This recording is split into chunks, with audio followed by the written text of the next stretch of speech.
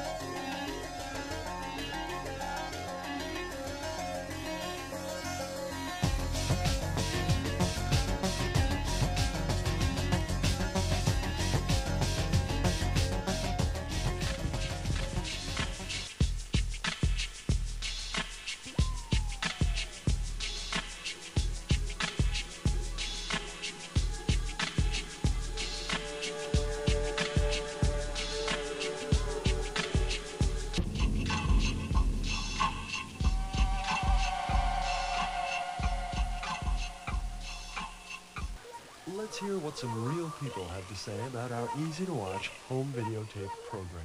I feel better about myself. It all has a purpose. I love the characters. I love the special effects. My TV and VCR do exactly what I say. It's wonderful. It really is, and I'm very glad I got it. I honestly enjoyed every minute. I love this show! Sound convincing? Well, with each videotape, you'll get this. Crystal clear CD quality sound, commercial-free, interruption-free music and simulcast capabilities, digital sound encoding of the movie soundtrack. Your home entertainment center will never be the same. And it's so easy to use. You'll get hours of quality entertainment simply using one finger. and you'll learn how to start making money. Watching TV 24 hours a day. So order now and you'll find yourself bombarded by rock music, skillfully manipulated by the artists you love, by using television, not just watching it. Wow.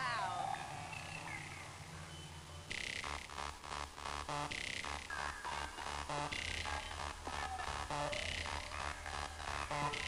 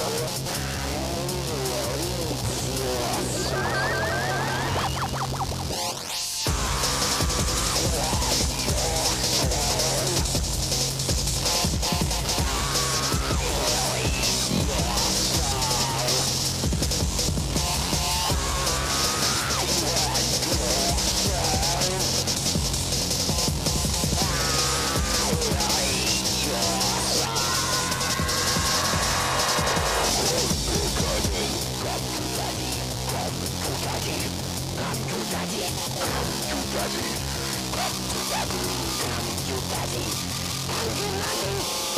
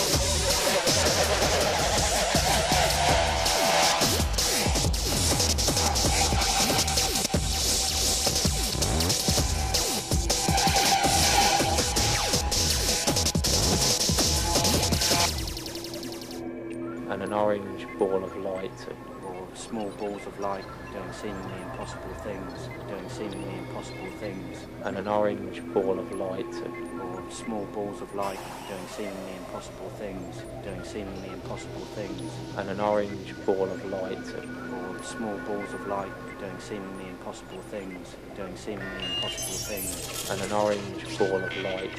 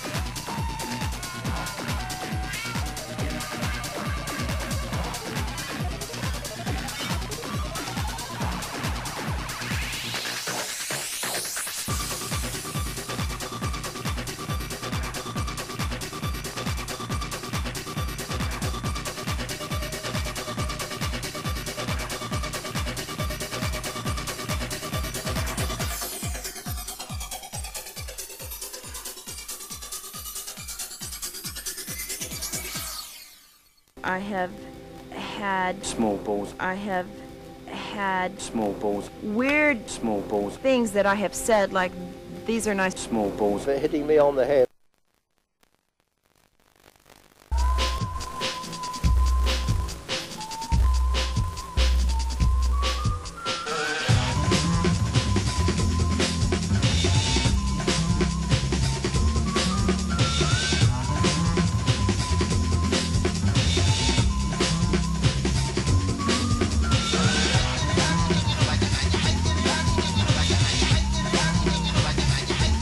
Hello.